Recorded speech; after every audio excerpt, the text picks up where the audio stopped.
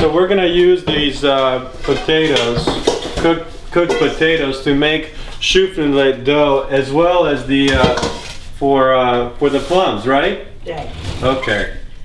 I've never done this before. I've uh, eaten enough of it, but I've never made it myself. Guess what? What? You need to learn it because my days is coming. Baba, you got another 20 years to go. Come on, how am I gonna have to use it, learn how to do it? Okay. Uh, it's hot, very yeah, hot. Here, I know. let me do it. What do I do? No, I'll show you how you can do it, oh. and you will do it.